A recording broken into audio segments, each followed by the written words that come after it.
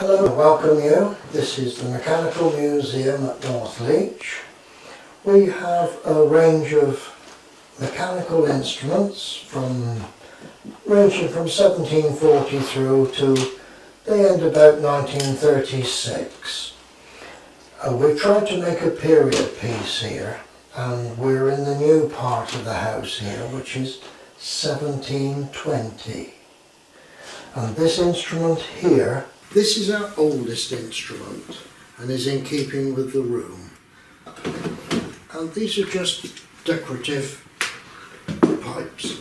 Inside we have a barrel and then we have the bellows here and there's a chamber created here. As it rotates the pins lift a lever and that lets air into a row of pipes behind.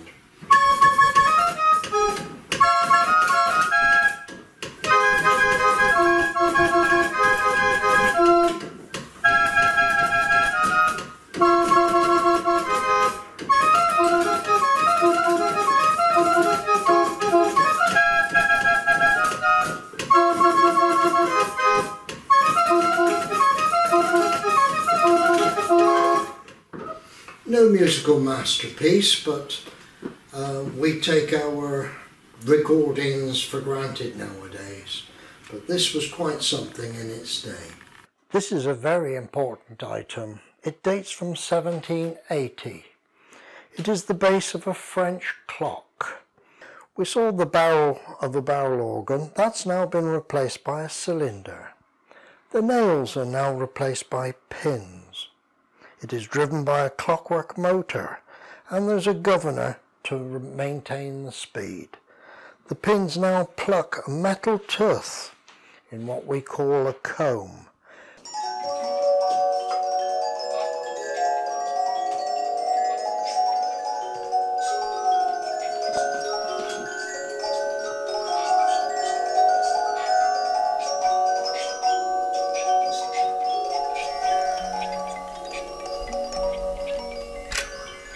Now this music box is dating from about 1820, made in Switzerland near Geneva.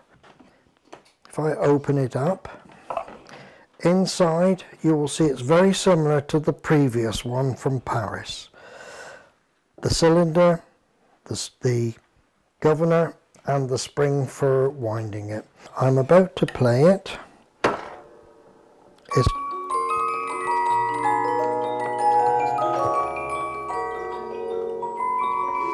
always better with the lid closed.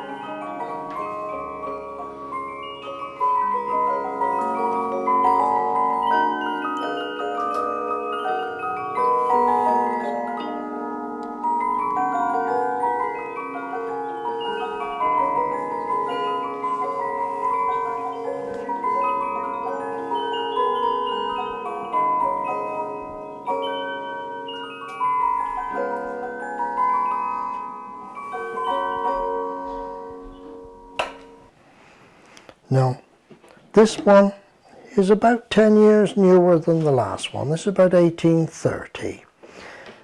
The maker is Nicole Frères, arguably the best of the uh, music box makers. The case is walnut here. This is a particularly, particularly nice music box with some good arrangements.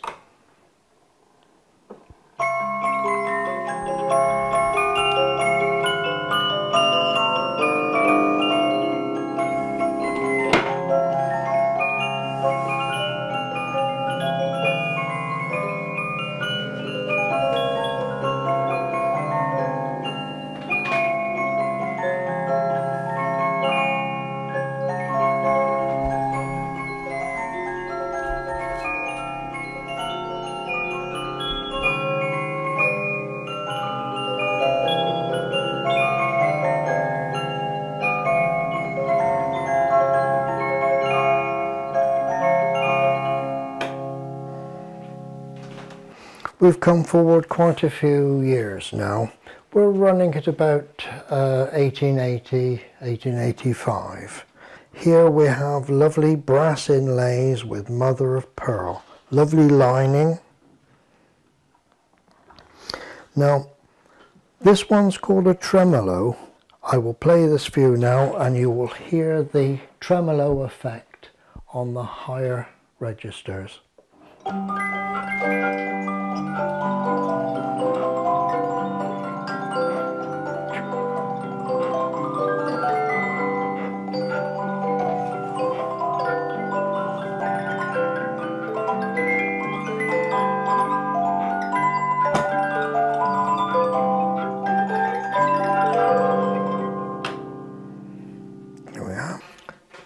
This particular box is about 1880 and this box has got four combs and this little comb here works the bells, that's your treble, that's your bass and that's your second bass because this particular box has got sublime harmony.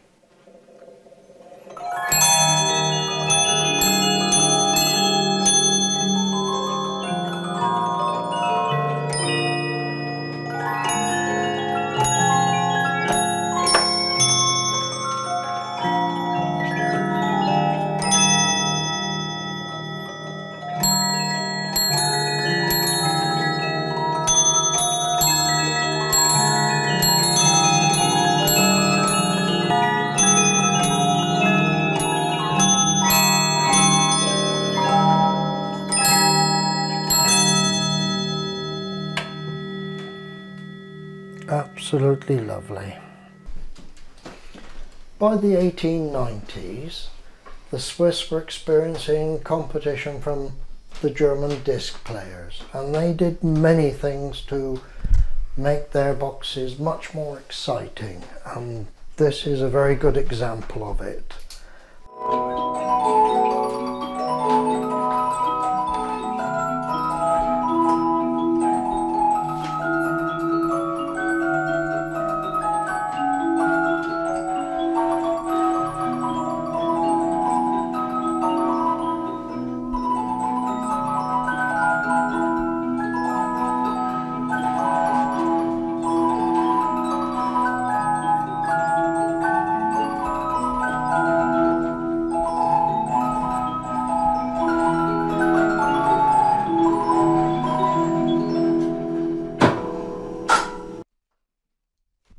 The 1890s, the German musical instrument makers of Leipzig in eastern Germany had pioneered a much more cost-effective means of having a music box. You bought your instrument and then you bought your music.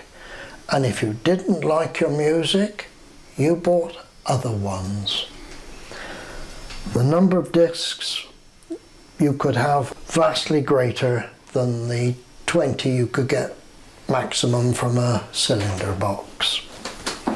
The cylinder sits flat on the top here. A simple clamp holds it in place. A little handle here to wind it and you pull the lever out and away we go.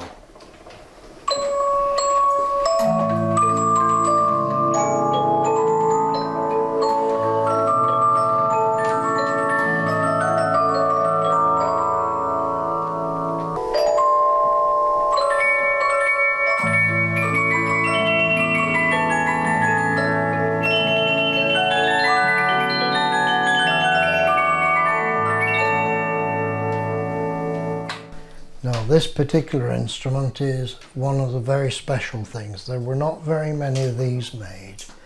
This is a polyphon. It's, I think they dated about 1898. This one I believe is 1904. It is in actual fact the forerunner of what we now know as a jukebox because you select which of the discs you want to play. I'm going to select Ave Maria and the pointer lines up there. The carousel moves backwards and forwards. I will show you when I open the door. And we just move, move the carousel there. I will just check it's in the right place. I will just pop the penny in.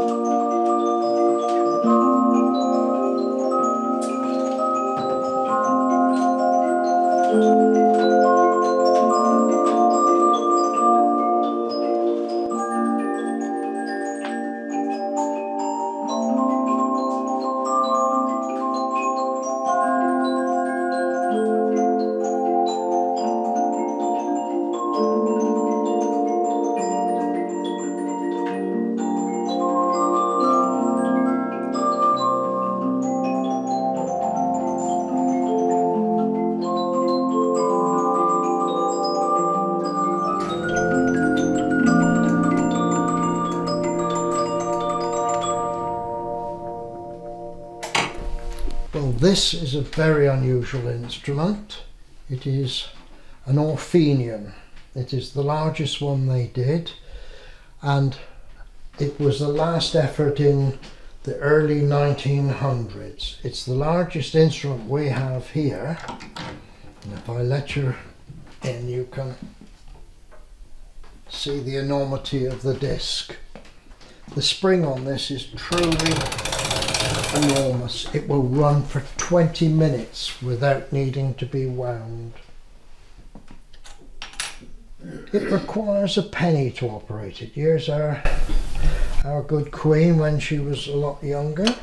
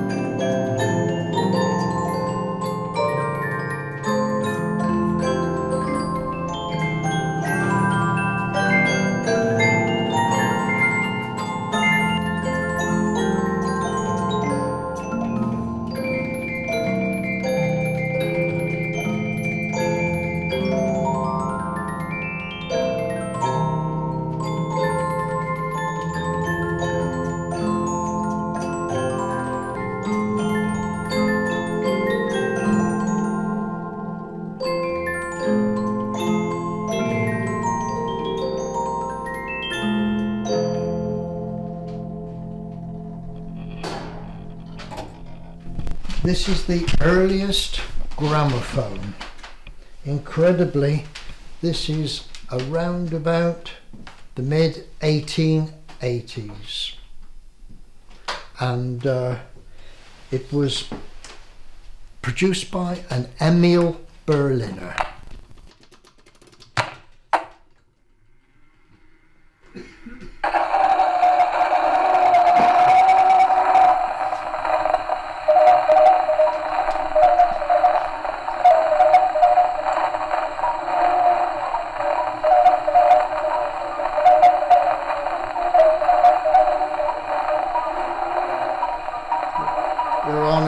Don't normally play it because it is so um, delicate. It's played with a steel needle and unfortunately it's destroying its original recording. But Emil Berliner. No, he came up with this idea in the 1880s, but he had a fierce competitor in the shape of Edison. This is the Edison phonograph. Edison started out with this machine being a dictaphone. The idea being that the director would speak his message and they would then take the wax disc, the secretary would have a similar model and she would place it and play it back. But he spotted that Emil Berliner with the record was producing something that the public could buy. And uh, Edison was not a man to miss an opportunity. So he came up with converting his dictaphone into a phonograph, not a gramophone. The recordings are made on cylinders and with grooves all along it, just like on a vinyl disc. And a needle runs along parallel. Now, there's a slight taper here and you just push this in. This is about 1906 this particular model. This recording is about 1910. You might remember it.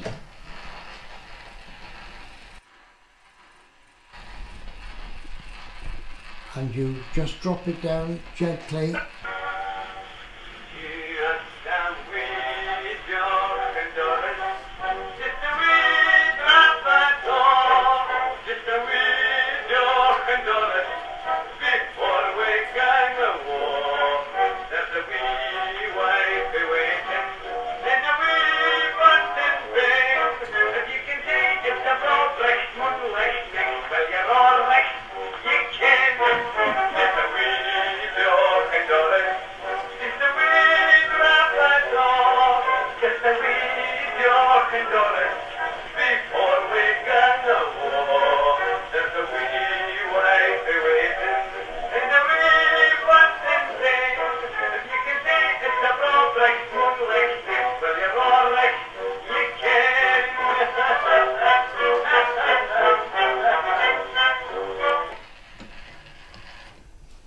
this particular instrument is dated about 1936.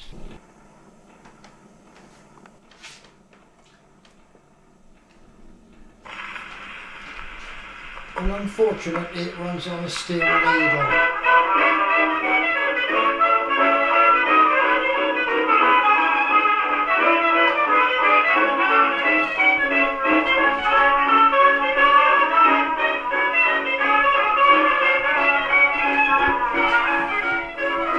Sock in it. It's called volume control. And that's where the saying came from.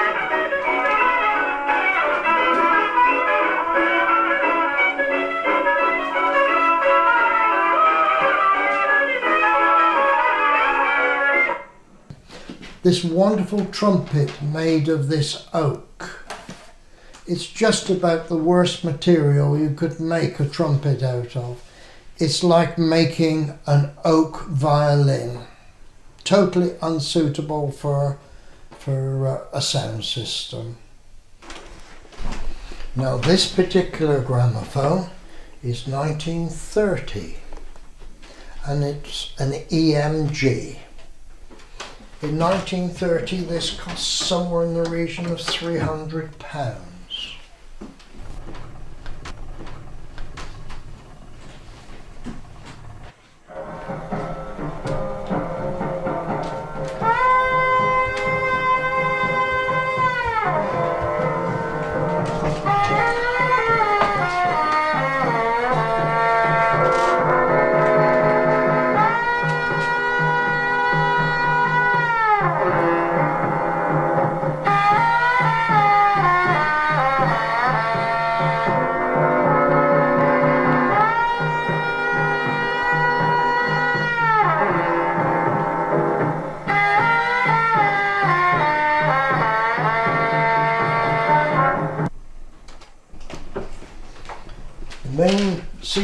This device is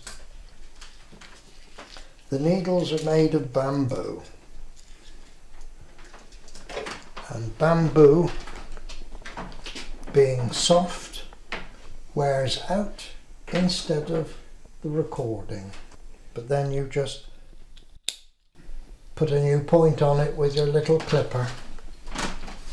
Apart from the gramophones and the phonographs, everything so far has been involved with one revolution, whether it's horizontal or just rotating. This is a Celestina and it is an organ and this works on paper rolls.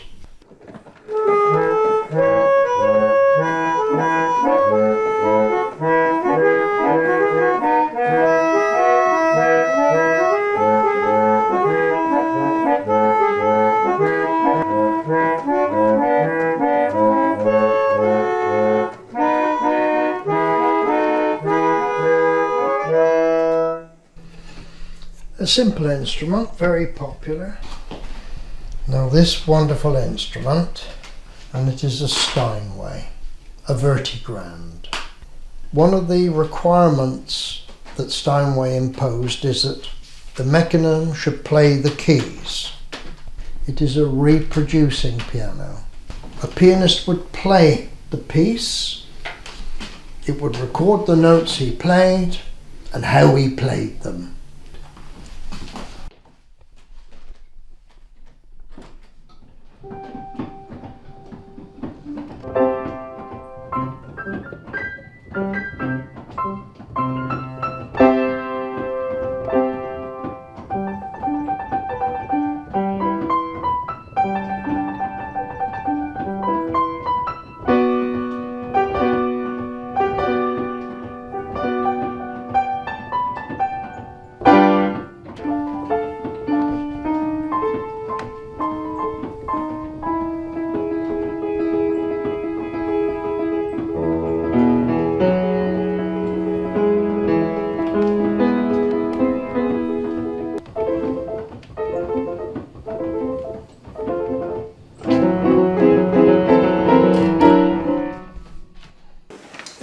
Very similar to the uh, Steinway, except it is now a Marshall Rose piano made in London, and it has been fitted with an Ampico reproducing kit. Made in the mid 20s onwards. The difference with the Ampico system is it didn't operate the keys. It went straight into the hammers so there's no point showing you anything. Now this is a particularly famous recording.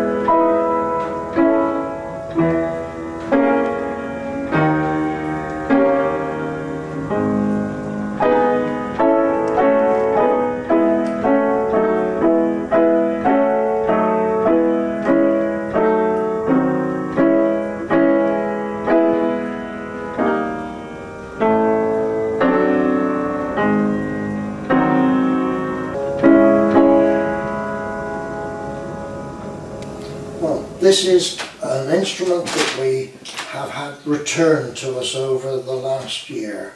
It's a Berlin cafe piano. There's an electric motor which drives bellows, which produces compressed air. And in here, this little pump is a vacuum pump, which provides the vacuum for the reader bar in here. And we started by putting a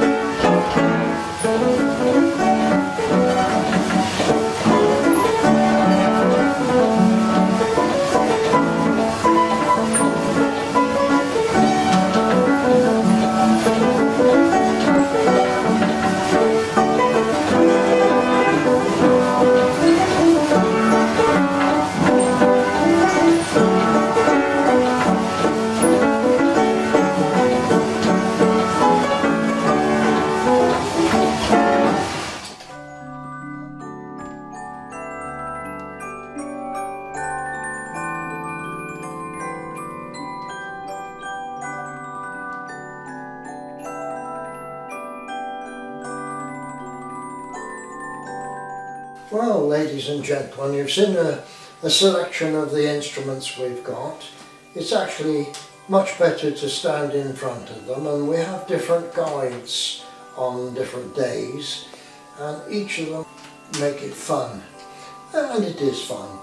Uh, lots of children enjoy coming here as well.